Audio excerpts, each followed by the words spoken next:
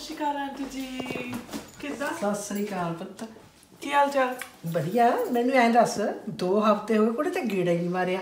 ਤੂੰ ਕਿੱਥੇ ਰਹਿਨੀ ਆ? ਬਸ ਮੈਂ ਇੱਕ ਖੁਸ਼ਖਬਰੀ ਦੇਣ ਆਈ ਹਾਂ ਤੁਹਾਨੂੰ। ਕਾਦੀ ਖੁਸ਼ਖਬਰੀ ਆ? ਕੀ ਹੋ ਗਿਆ? ਮੇਰਾ ਵਿਆਹ ਪੱਕਾ ਹੋ ਗਿਆ। ਸੱਚੀ? ਹਾਂ। ਕਿੱਥੇ ਕੁੜੇ? ਮੁੰਡਾ ਤੇ ਉਰੇ ਆਸਟ੍ਰੇਲੀਆ ਹੈ ਪਰ ਪਿੱਛੋਂ ਦੁਆਬੇ ਤੋਂ ਨੇ ਜਲੰਧਰ ਜਲੰਧਰ ਤੋਂ ਨੇ। ਠੀਕ ਆ। ਮੈਂ ਤਾਂ ਦੱਸਿਆ ਹੀ ਨਹੀਂ ਕੁੜੇ। ਮੈਨੂੰ ਵੀ ਐਵੇਂ ਘਰਦਿਆਂ ਨੇ ਫਟਾਫਟ ਚ ਕਰਤਾ ਬਟ ਠੀਕ ਹੈ ਸੋਹਣਾ ਮੁੰਡਾ। ਫੋਟੋ ਦੇਖ ਕੇ ਮੈਂ। ਵਧੀਆ। ਚਲੋ ਉਹ ਗੱਲਾਂ ਛੱਡੋ ਮੈਂ ਤੁਹਾਨੂੰ ਪਤਾ ਮੈਂ ਕਿਉਂ ਆਈ ਆ। ਅੱਜ ਮੈਨੂੰ ਤੁਹਾਡੀ ਲੋੜ ਆ ਮੈਨੂੰ ਨਾ ਯਾਰ ਕੁਝ ਖਾਣਾ ਪੀਣਾ ਬਣਾਉਣਾ ਸਿਖਾ ਦਿਓ। ਹੁਣ ਇੱਥੇ ਤਾਂ ਕੋਈ ਹੈ ਨਹੀਂ ਮੈਨੂੰ ਸਿਖਾਉਣ ਵਾਲਾ। ਮੈਨੂੰ ਕੁਝ ਨਹੀਂ ਆਉਂਦਾ ਬਣਾਉਣਾ। ਤੈਨੂੰ ਆਉਂਦਾ ਕੀ ਕੀ ਆ? ਨਹੀਂ ਮਤਲਬ ਉਦਾਂ ਤਾਂ ਮੈਂ ਤਿੰਨ ਚਾਰ ਚੀਜ਼ਾਂ ਬਣਾ ਲੈਣੀ ਆ। ਮਤਲਬ ਟਿਕਟੌਕ ਤੇ ਮੈਂ ਬਹੁਤ ਸੋਹਣੀ ਬਣਾਉਣੀ ਆ। ਟਿਕਟੌਕ ਉਹ ਜੇ ਵੱਡਾ ਆ ਮੂੰਹ ਸਰਜਨ ਲਿਪ ਕੇ ਜਿਹੜੀਆਂ ਸੜਕਾਂ ਤੇ ਆ ਸਬਜ਼ੀ ਲੈਣ ਜਾਈਦਾ ਮੈਂ ਕੁੜੀਆਂ ਡਾਂਸ ਜਿਹਾ ਕਰਕੇ ਆਇਆ ਕਰਦੀਆਂ ਨੇ ਉਹ ਚੀਜ਼। ਹਮ ਮਸ਼ਹੂਰ ਪਤਾ ਕਿੰਨੀ ਹੋ ਗਈ ਮੈਂ? ਬਾਹਰ ਜਾਂਦੀ ਨਾ ਸਾਰੇ ਪਛਾਣਦੇ ਆ ਮੈਨੂੰ ਟਿਕਟੌਕ ਵਾਲੀ ਕੁੜੀ ਟਿਕਟੌਕ ਵਾਲੀ ਕੁੜੀ। ਅੱਛਾ ਮਸ਼ਹੂਰ ਹੋ ਗਈ।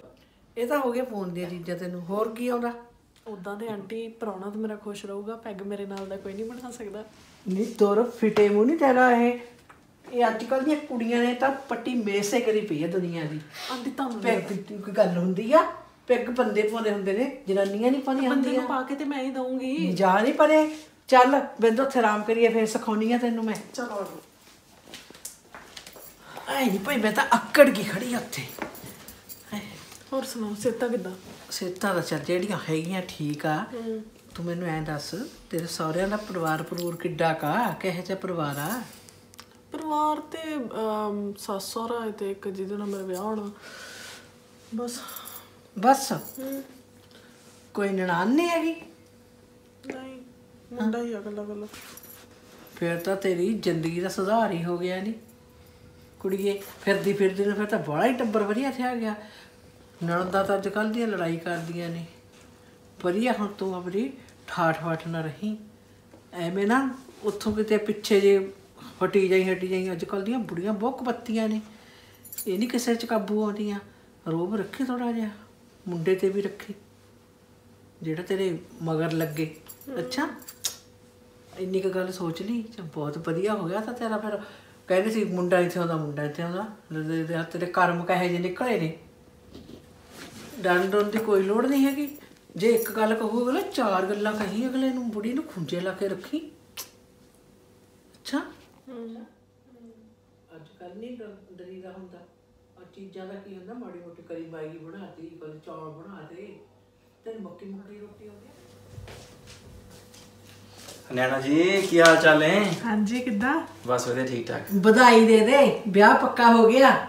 ਆਓ ਮੈਂ ਸੁਣ ਲਿਆ ਸੀ ਵਿਆਹ ਪੱਕਾ ਹੋ ਗਿਆ। ਚੱਲ ਵਧੀਆ ਕੀਤਾ ਵਿਆਹ ਹੋ ਗਿਆ ਚੱਲ। ਕਹਿੰਦਾ ਦੱਸਿਆ ਤਾਂ ਹੈ ਚੱਲ ਵਧੀਆ ਕੀਤਾ ਨੈਣਾ ਦਾ ਵਿਆਹ। ਵਧੀਆ ਸਿਖਾਤੀ ਮੰਮੀ ਗੱਲਾਂ ਤੈਨੂੰ? ਲਾਹੌਰ ਮੈਂ ਹੁਣ ਸਿਖਾਉਣੀ ਸੀ ਇਹਨੂੰ ਗੱਲਾਂ। ਹੂੰ। ਹੁਣ ਇੱਕ ਕੰਮ ਹੋਰ ਕਰ ਮੰਮੀ ਤੂੰ। ਹਾਂ? ਜਦੋਂ ਮੇਰੀ ਘਰ ਵਾਲੀ ਆਊ ਤੇਰੀ ਨੌਂ ਆਊਗੀ ਨਾ ਕਰੇ ਉਹਨੂੰ ਵੀ ਆਹੀ ਗੱਲਾਂ ਸਿਖਾ ਦੀ।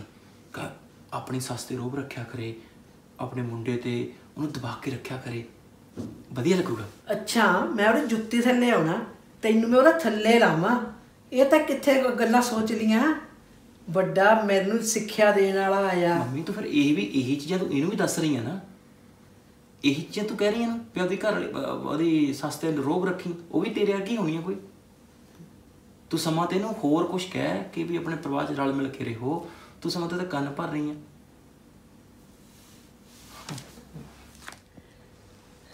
ਚਲਦੀ ਏ ਮੈਂ ਤਾਂ ਤੈਨੂੰ ਕਰਦੀ ਸੀ ਮਜ਼ਾਕ। ਆਪਣਾ ਘਰ ਬਣਾ ਕੇ ਰੱਖੀ। ਮਾਪਿਆਂ ਦੀ ਇੱਜ਼ਤ ਹੁੰਦੀ ਆ। ਜੇ ਸਹੁਰੇ ਘਰ ਜਾ ਕੇ ਧੀਆਂ, ਸੋਭਾ ਖੱਟਣ। ਅੱਛਾ, ਸੋਭਾ ਖੱਟੀ ਦੀ ਹੁੰਦੀ ਆ। ਚੱਲ ਹੁਣ ਤੈਨੂੰ ਮੈਂ ਕਿਚਨ ਦਾ ਸਮਾਨ ਸਿਖਾ ਦਿੰਦੀ ਆ।